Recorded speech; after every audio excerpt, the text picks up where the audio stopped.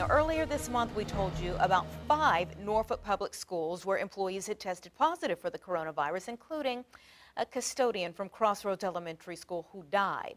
Tonight, Norfolk school officials have released information showing a total of nine employees at nine different schools who have been infected with the virus. Because of privacy concerns, no information is being released on the conditions of the employees.